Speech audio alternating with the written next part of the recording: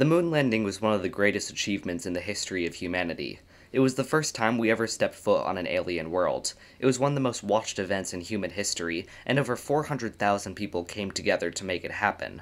When the Apollo 11 astronauts returned and the mission was a resounding success, people didn't say the United States did it, they said we did it. All of humanity put people on the moon.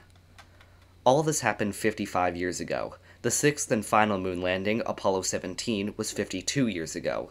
We've sent tons of robotic spacecraft to the moon since, but no people. So why haven't we been back? How hard is it actually to just rebuild the Saturn V, get a crew, and put them back on the moon? The fact that we haven't sent humans to the moon in 50 years has been used by conspiracy theorists as evidence that we never went in the first place. If we can't figure out how to do it today, then how do we figure out how to do it in the 60s when technology was significantly worse? Many people have speculated about it. Some say we lost the technology and forgot how to do it. Some say we never went. In all my searching, I haven't found a single popular video explaining exactly how we got to the moon and why we haven't gotten back. So, that's what I'm here to do. This video should hopefully serve as a clear explanation of exactly why we haven't gone back to the moon in 50 years. It's not because we forgot how to or lost the technology. It's not just because of politics. It's a lot more complicated than that. But first, we have to be on the same page. It's pointless to talk about going back when there are people who think we never went. So, before I explain why we haven't gone back, I first need to talk about how we know for an absolute fact that the moon landings did occur. Plus, the moon landings being real is actually part of the reason why we haven't gone back, which I'll get to later. People who deny the moon landing are not stupid. It is perfectly normal to question what the government says, and is probably a very good idea. A healthy dose of skepticism toward the government is more than justified. Luckily, there is loads of proof that the moon landing occurred from non government sources, or governments other than the American one. First off, satellites from India, China, and Japan have all taken pictures of the Apollo landing sites and confirmed that the landers, flags, experiments, and footprints are all there. China and the US in particular are enemies. China has no reason to help the US keep the truth behind the moon landing a secret. In fact, it would benefit China if they exposed that the moon landing was fake. But they didn't do that because they saw with their own satellites it was real. That alone confirms beyond a reasonable doubt it was real, but if you're not convinced, there's a ton more evidence as well.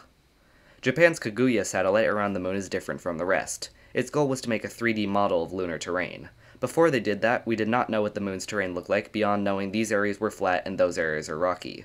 Kaguya gave us maps of lunar terrain that we simply did not have before and would have been impossible to get in the 60s and 70s.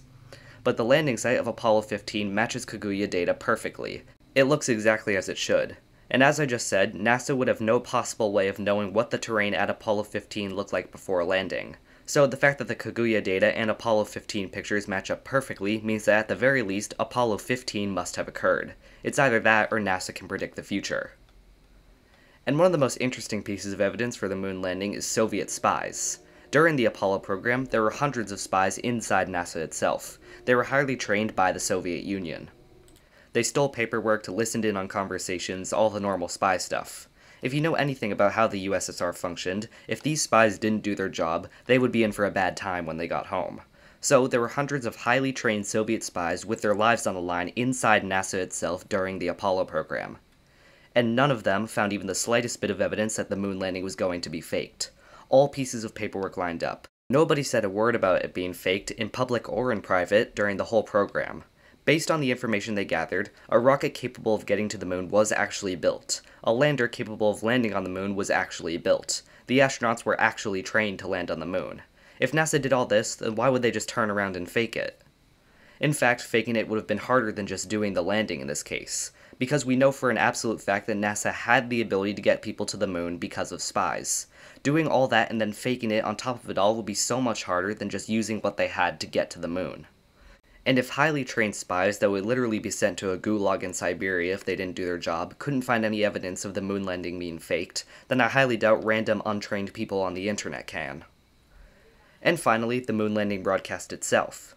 To get the broadcast to Earth, a very powerful radio signal was obviously needed. It was powerful enough, in fact, that if you had a radio receiver set up to the right frequency and pointing at the right direction, you could have picked up the broadcast yourself, and people did this. Thousands and thousands of average people all across the world, not affiliated with any world government, all with radio equipment, picked up the Apollo broadcast independently. There were people who heard the landings without even needing a TV. All they needed was a radio dish looking for the right thing.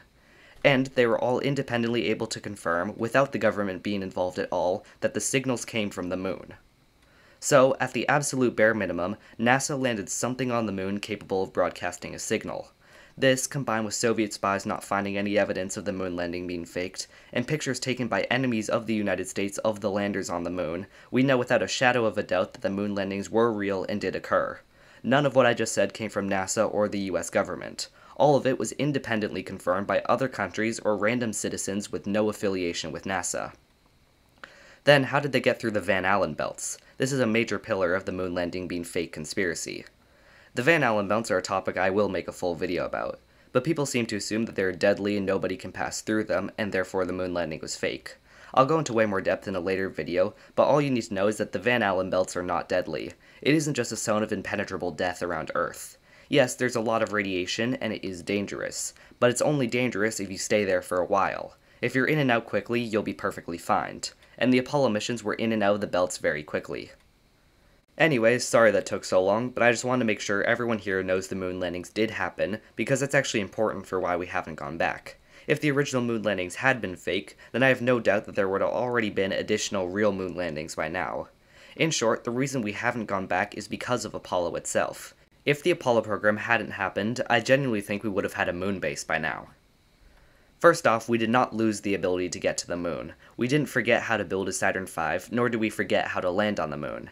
Yes, technically, we don't have the ability to build a Saturn V anymore, but we also don't have the ability to build TVs from the 60s or World War II era fighter planes, because they're obsolete and were replaced by better things. We don't have the ability to build a Saturn V because the Saturn V is outdated, incredibly dangerous, and we have much better rockets today. When people say we lost the technology to go to the moon, what they actually mean is we no longer have the technology that we used at the time to get to the moon because it was replaced by better things. We didn't lose the technology in the way people think. We simply don't need to make it anymore because we have better replacements. So, if we have better rockets, then why not just make an Apollo 2.0? Why not get a lander, get a rocket, and get people back on the moon? Because nobody in their right mind, even with modern technology, would ever do another Apollo. Because Apollo was needlessly reckless, enormously expensive, and completely unsustainable. It is an absolute miracle that none of the Apollo missions that got off the ground ended in death of the crew, and I'm not exaggerating when I say that. We are incredibly lucky that Apollo 13 was the worst we got. Some estimates say that the Saturn V had a 1 in 10 chance of exploding on launch. Apollo 11 nearly failed to land when the ground was too rough, and nearly failed to lift off when the button on the control panel broke. Apollo 12 was struck by lightning twice. An Apollo mission ending in complete failure was not only possible, but decently likely these safety margins would have been absolutely unacceptable today. If you walked into a NASA meeting today with the designs and safety margins of an Apollo mission, you would be laughed out of the room. No space agency would be willing to accept that high of a risk today. They only got away with it in the 60s because the US was in a race to get to the moon first, and NASA had a basically unlimited budget. So we already can't use the Saturn V because it was a death trap with a 10% chance of exploding. We would need a new moon rocket. But the problems don't end there. It's also good to remember that the Soviets did try to land people on the moon, but their Saturn V equivalent, the N1, never made a successful launch, and after Apollo, they just gave up. So, out of the two we have, 50% of crewed moon programs ended in failure. If you count individual missions, 14% of the seven Apollo moon landings failed, the failure, of course, being Apollo 13. Those are not good odds. Clearly, if we want people to go back to the moon, Apollo is not going to work a 14% chance of failure per landing is completely unacceptable. And this is after we spent $257 billion making it happen. That brings me to my second point. Apollo was not only reckless and dangerous, but expensive. NASA's current budget is about $20 billion a year. To make another Apollo program, NASA would need 10 years worth of their budget. That means that to get enough money for Apollo, they'd have to spend zero dollars in 10 years. They can't pay anyone, can't launch any rockets, can't make any missions for a decade just to have enough money for Apollo. No sane person would allow something that expensive to happen today. Apollo got a pass because NASA had a gigantic budget back then, and again, we were in a space race. Today, the circumstances are different. We are currently in a space race with China, but it's nowhere near the intensity of the US Soviet space race and NASA has a fraction of its previous budget. We simply could not afford an Apollo program today, so we don't do it. But even if we had the money, even if we somehow fixed the enormous and glaring safety problems that by some grace of God didn't kill people on a moon landing mission already, even if everything was perfect, we still wouldn't do another Apollo. Because it's unsustainable. If we just kept going with Apollo's budget forever, continuously landing people on the moon, we would eventually run out of money. Because Apollo didn't make any money, it didn't make life better on Earth, it was solely for prestige and nothing else. There's no way to get around it. Apollo was a massive waste of money, and we had no business going to the moon in the 60s. There was no point in continuing Apollo and spending ludicrous amounts of money for no reason, so we stopped. Going to the moon in and of itself is not bad. Getting humans on the moon is actually a very good idea. I am not anti-space exploration, quite the opposite. I want humans on the moon. Apollo just did it really badly. So when I say Apollo is a waste of money, I don't mean going to the moon is a waste of money, because it isn't. I mean the way we tried to do it already was a waste. Plus, once we beat the Soviets, the public just wasn't interested. Apollo had one goal and one goal only, beat the Soviet Union to the moon. Once that was accomplished, what was the point in keeping this money hole around any longer? Apollo was never going to try colonizing the moon. Colonizing the moon is an extremely good idea, and I talk about why in other videos, but that was never Apollo's goal. Their only goal was to get a man on the moon. That's it. No more, no less. The problems with Apollo went too deep, and the only way to fix them was to cancel it. And that's why we haven't been back. Nobody, not the US, not other countries, not companies, is willing to spend that ungodly amount of money for a few prestige missions with no payoff. We do want to go back to the moon, but we can't because if we did another Apollo, we would go bankrupt, potentially kill several people, and get no benefits from it. Several people died for Apollo, and we aren't willing to do that again. The payoff of Apollo, the prestige of being the first man on the moon, simply isn't there anymore. You'd be competing for second place. So, we've been working for decades to create a new way to get to the moon. Apollo proved getting humans to the moon was possible. It spent hundreds of billions of dollars and had 400,000 people working for it, and it still just barely worked. Now we need to prove that getting to the moon is practical, and we are trying to do that. The Artemis program had the goal of getting back to the moon sustainably, not wasting so much money just to nearly kill a bunch of astronauts and get nothing in return. Not only that, we're not just trying to put people back on the moon. We're trying to build a permanent base on the moon, like the International Space Station, where people can live for months. Artemis is not Apollo, and the only similarities between the two programs is that there are humans involved and they're going to the moon. None of the people who worked in Apollo are left, they're all either dead or retired. We're going to have to learn how to get to the moon again without the experience of people who already did it, and with brand new technology and entirely different mission goals. Because of this, it's been delayed. It's gone over budget, and so parts of it were cancelled. Progress has been extremely slow, but progress is being made. Artemis 1, an uncrewed test of the SLS rocket and Orion crew spacecraft, has already occurred. Starship HLS, the lander we'll use to get back, is going well and will hopefully be ready by 2028. Artemis 2, a crewed version of Artemis 1, will likely launch next year and is actually currently ahead of schedule right now. China is also preparing to send their own crewed mission to the moon before 2030. We are going back, and we have been trying, it's just taking a while.